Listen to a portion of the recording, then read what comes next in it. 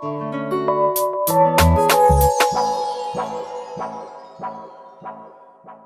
have come to the conclusion that we do need to uh, uh, enter a new phase of the integration process in Europe. We need a much more coordinated and common uh, fiscal and economic policy.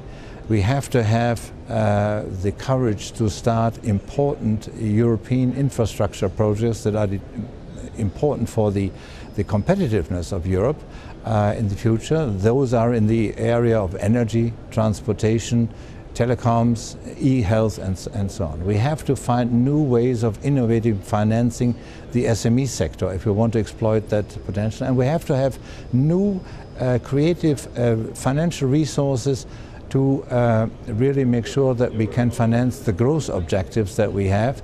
And we have to complete, as Mario Monti has said in his report to the Commission President Barroso, we have to complete the single market and create also European labour market.